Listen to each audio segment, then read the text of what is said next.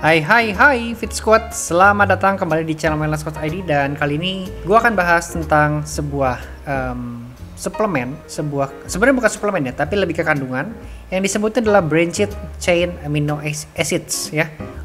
branched chain amino acids. Ya, kalau lu tidak familiar dengan istilah ini, kita singkat aja dengan kata BCAA. Oke? Okay? Ya, mungkin BCAA lebih lebih sering dengar ya.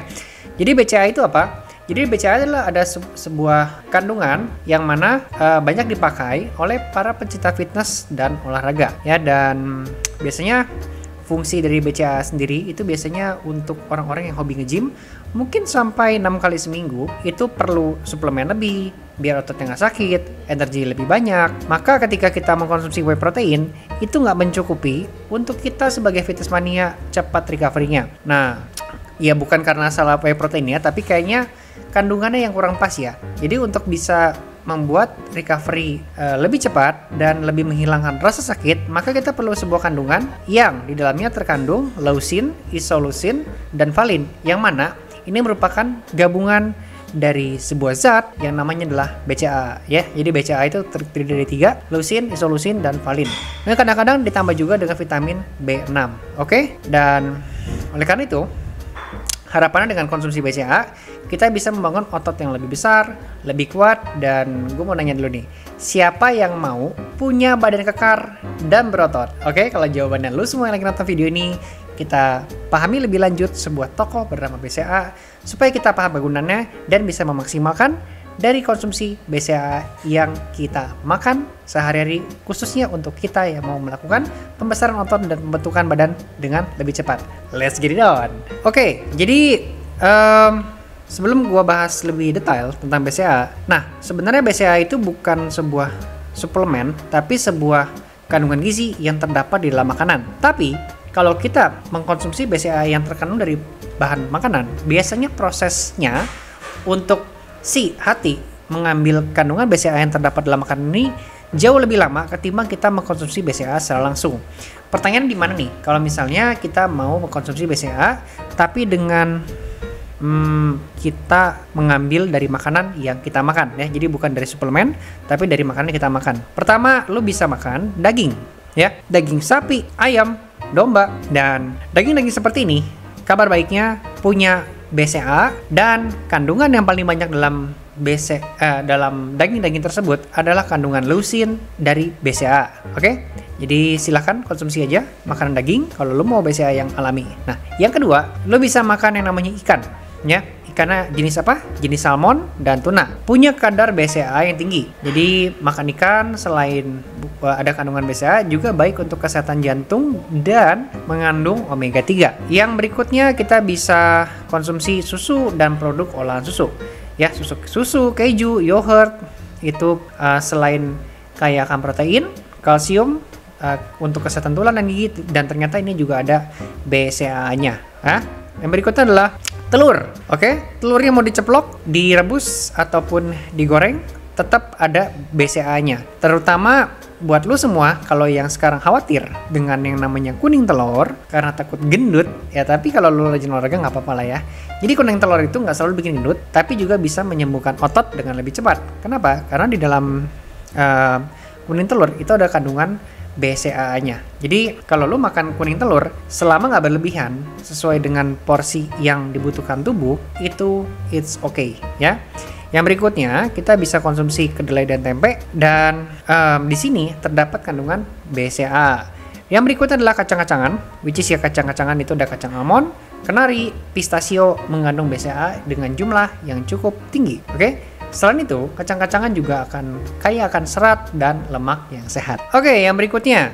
Jadi, apa yang terjadi kalau kita kekurangan BCAA? Ya, lu makan dikit, akibatnya lu uh, mungkin lu, lu lagi dalam kondisi diet, lu lagi dalam kondisi pengen ngurusin badan, dan akhirnya lu mengurangi kalori jumlah asupan yang masuk ke dalam tubuh. Tapi ada konsekuensi dari yang namanya uh, diet kalori, mengurangi kalori, ada kemungkinan BCA yang lo konsumsi juga berkurang. Nah, akibatnya apa nih? Kalau misalnya uh, BCA yang kita konsumsi itu berkurang, pertama ada ada yang adanya nam, uh, yang namanya penurunan performa olahraga ya. Jadi BCA yang harusnya ngasih energi ke otot-otot selama kita latihan, sekarang kalau BCA-nya nggak cukup, maka lu akan merasa lemas dan performa olahraga bisa menurun ya itu yang pertama. Yang kedua adalah kesulitan bangun otot. Olahraga udah rajin ngejim udah berat-berat angkat beban udah super berat sampai lu meringis tapi kok nggak gede-gede ya? Nah jangan-jangan kekurangan BCAA jadi BCAA penting dalam proses sintesis protein yang membantu pembentukan otot baru. Jadi kalau BCAA nggak cukup maka proses ini bisa terhambat dan bakal kesulitan untuk bangun otot yang lebih besar dan lebih kuat. Oke, yang ketiga adalah lo akan merasakan lambat dalam proses pemulihan. Nah, apa itu maksudnya? Jadi BCA itu membantu mencegah kerusakan otot dan mempercepat proses pemulihan setelah berolahraga. Kalau kita kekurangan BCA, proses pemulihan kita bisa jadi lebih lambat dan kita mungkin merasa lebih lelah setelah berolahraga. Dan yang berikutnya, di poin nomor 4, bisa jadi adanya penurunan sistem kekebalan tubuh. Which is, ini adalah the, the, the more effect ya, atau the side effect ketika otot lu kecil, otot lu kurang, maka ada kemungkinan kekebalan tubuh menurun. Ingat, itu ya poinnya ya.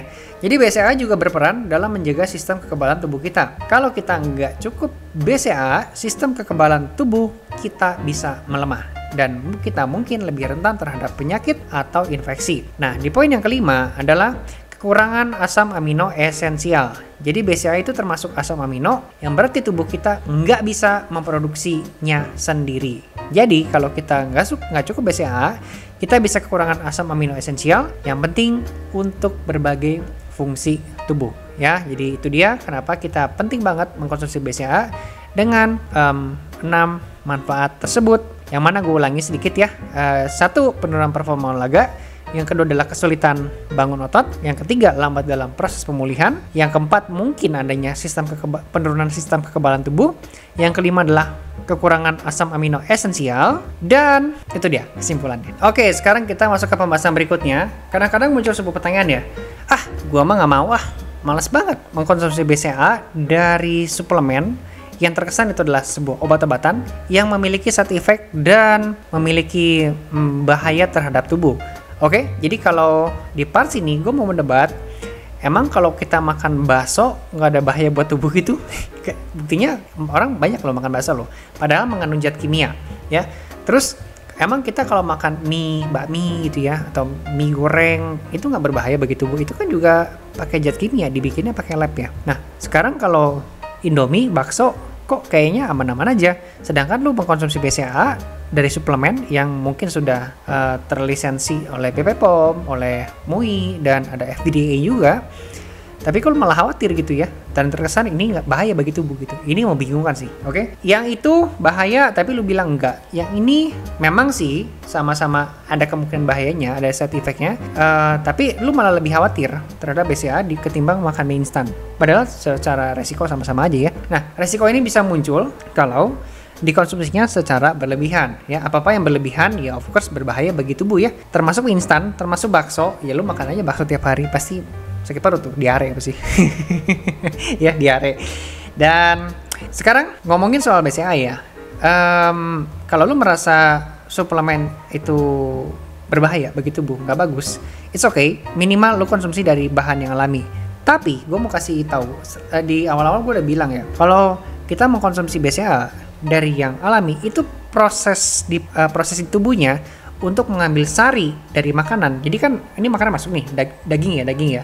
Daging itu ada protein, mungkin ada ada kandungan yang lain, ada enzim apa, ada BCA salah satunya, ada asam amino salah satunya, dan itu semua diproses dipisah-pisah dulu sama si hati dan untuk mengambil BCA dan ditransfer ke bagian tubuh yang membutuhkan prosesnya sangat lama maybe satu hari gitu dan otot lu keburu nangis kali ya keburu busung lapar gitu karena mereka kelaparan gitu kan sekarang kalau kita mau lebih cepat transfer prosesnya kepada bagian otot yang membutuhkan, maka kita butuh suplemen yang penyerapannya jauh lebih cepat ketimbang kita makan dari makanan yang asli.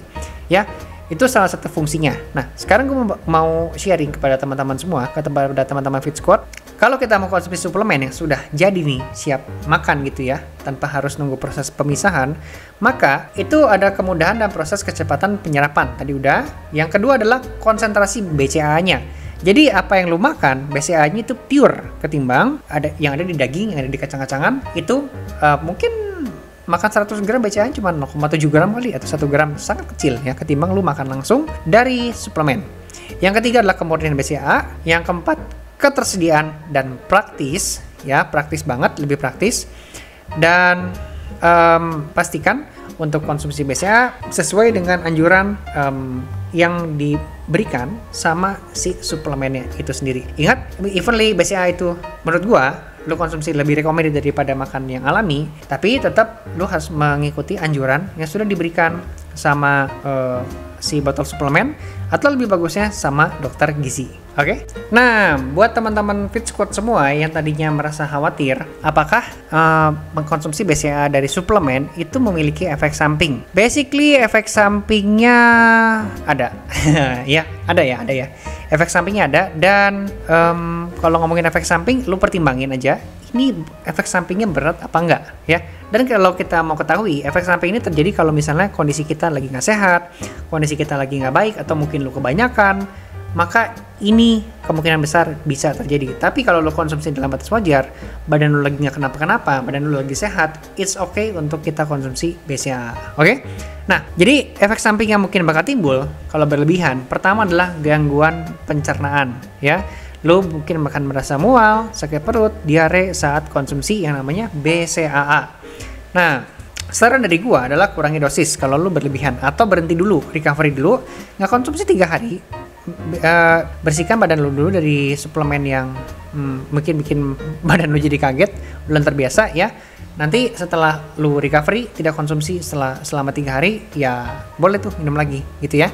Nah, mungkin kalau level udah parah banget sampai lu nggak bisa makan sampai lu uh, pusing kepala ya itu ada bagusnya lu kunjungin dokter atau ahli gizi untuk berkonsultasi lebih lanjut. Efek samping yang kedua adalah bisa jadi ketidakseimbangan asam amino ya. Jadi konsumsi BCA berlebihan bisa menyebabkan um, asam amino ini produksinya tidak seimbang dan ada makanya kita harus memperhatikan dosis yang sudah dianjurkan sama si botolnya gitu. Lalu ngomongin soal durasi istirahat ya. Sebenarnya kalau ngomongin soal durasi istirahat itu mm, nggak mm, ada aturan baku ya um, ketika mengkonsumsi suplemen BCA. Namun kalau misalnya lu ngomongin soal durasi istirahat, pastikan um, mengikuti dosis yang disarankan oleh produsen atau ahli gizi ya which is ya produsen itu artinya di botol minum. Yang kedua perhatikan asupan nutrisi kamu secara keseluruhan ya. Apakah makanan seimbang kaya akan protein karbohidrat lemak sehat vitamin mineral itu mendukung kebutuhan tubuh. Jadi kalau lu merasa BCA itu adalah dewa dewanya pembentukan otot itu salah ya. Karena kalau kita mau bentuk otot itu harus ada nutrisi yang lain. Protein, oke, okay? yang tadi gue bilang ada karbohidrat, harus ada lemak sehat, harus ada vitamin, ada mineral, ada zinc, ada kalium, ada kalsium dan sebagainya. Itu jadi mendukung. Ya BCA bukan satu-satunya, oke? Okay? Jadi kalau lo berharap BCA bisa jadi wanya pembentukan otot, that's wrong mindset. Seperti itu. Nah, yang ketiga adalah Jangan ber, hanya bergantung pada suplemen BCA untuk mendukung kebugaran dan olahraga. Utamakan makanan alami yang kaya akan BCAA dan nutrisi lainnya. Itu better uh, ketimbang lu konsumsi BCAA. Tapi kalau mau lebih cepat, ini suplemen ya, makanan pendukung ya, bukan makanan utama, gitu ya. Jadi lu mungkin butuh bantuan makanan pendukung untuk mempercepat proses yang lagi otot yang otot-otot yang rusak ini membutuhkan ICU-nya nutrisi gitu. Yang keempat adalah perlu juga kita menjaga istirahat ya um, terus kalau misalnya lu merasa udah konsumsi BCA tapi nggak gede-gede ototnya nggak recovery nggak recovery sakit mulu ototnya jangan-jangan bukan karena BCA-nya tapi karena lu nya kurang istirahat. HGH Human Growth Hormone adalah uh, adalah sebuah hormon yang mendukung pertumbuhan otot dan cukup besar tuh perannya. Kalau misalnya kita nggak istirahat maka HGH-nya nggak keluar maka ketika harga yang keluar percuma aja lu konsumsi BCA karena pada akhirnya hasilnya bisa nihil ya seperti itu. Oke Fit Squad, kali ini gue mau share tentang uh, kelas virtual gym online di mana harapan gue ini bisa bisa menjadi solusi terbaik buat kalian yang ingin olahraga tanpa harus keluar rumah dan repot dengan banyaknya persiapan. Dengan mengikuti kelas virtual gym online, kalian bisa menikmati berbagai macam kelas ya, um, HIT, kemudian lu bisa menikmati pumping aerobik di mana lu bisa berolahraga dengan bantuan alat dan dipandu dengan instruktur yang profesional yang mana beliau akan membantu lu semua uh, bergerak harus gerakannya gimana, hitungannya berapa, koreonya seperti apa, dan semoga sih bisa mencapai lu punya body goals dengan arahan dari instruktur yang dibimbing oleh Wellness Coach ID, begitu ya. Nah, terus um, kalau disambungin sama BCA nih, sama pembahasan kita sebelumnya, jadi kalau habis olahraga, biasanya kita, badan kita akan sakit-sakit, oke? Okay? Sakit-sakit, capek-capek, pegel-pegel, dan lu pengen cepat recovery badannya, supaya besoknya bisa olahraga lagi, bisa langsung beraktivitas dengan semangat. Dan kalau lu pengen mempunyai cita-cita yang seperti itu, maka lu akan membutuhkan yang namanya suplemen BCAA. Jadi virtual gym untuk panduan pembentukan badan, dan BCA untuk bantuan recovery otot biar cepat sembuh dan nggak pakai capek. Oke? Okay? Jadi untuk mengikuti kelas virtual gym ini cukup si siapin uh, gadget, gadget, handphone, komputer. Yang kedua adalah internet yang stabil. Kemudian lu bisa pilih jadwal yang lu cocok ya. Jadi selama sebulan kita sistemnya subscription, tinggal pilih jadwal yang cocok dan ikutin aja langsung ya. Terus uh, pastikan baterai di handphone cukup. Jangan sampai lagi tengah-tengah olahraga baterainya habis gitu ya. Dan harapan gue lu bisa gabung dengan kelas virtual gym ini dan lu memiliki tubuh yang fit bugar akhirnya lu bisa produktif dan akhirnya bisa melahirkan yang namanya percaya diri. Pantun nasi sudah menjadi bubur. Keringat mengucur saat berolahraga di luar Kelas virtual gym solusi tak terkendur, menjaga tubuh bugar tanpa harus keluar. Mantap, oke? Okay? Dan Fit Squad, thank you sudah nonton video sampai akhir. Segera tekan tombol subscribe, aktifkan loncengnya, biar lu semua nggak ketinggalan update terbaru dari kita. Ya, uh, harapan gue lu dukung, uh, lu semua bisa mendukung um, channel um, ini ya Wellness Coach ID dan dengan dukungan lo semua kita bisa lebih semangat untuk melahirkan dan membuat konten-konten yang harapannya sih bisa menambah edukasi ya. Eh, bisa menambah pengetahuan seputar tubuh yang fit, yang produktif dan akhirnya ketika lu percaya diri dengan share yang kita upload di YouTube seperti ini, akhirnya kalian lu bisa meningkat dan hidup lu bisa lebih happy dan bahagia ya. Jadi dengan dukungan lu semua, gue akan lebih semangat untuk membuat konten. So, biar gue lebih semangat, thank you banget yang support udah subscribe, like, dan ada pertanyaan silahkan komen. Dan jika perlu merasa video ini bermanfaat, it's okay, boleh di-share ke teman-teman yang lain ya. Akhir kata, uh, eh, gue mau ucapin thank you, uh, selamat mencoba suplemen BCA, semoga bermanfaat infonya. Tetap semangat dan jaga kesehatan. Sampai jumpa di video berikutnya.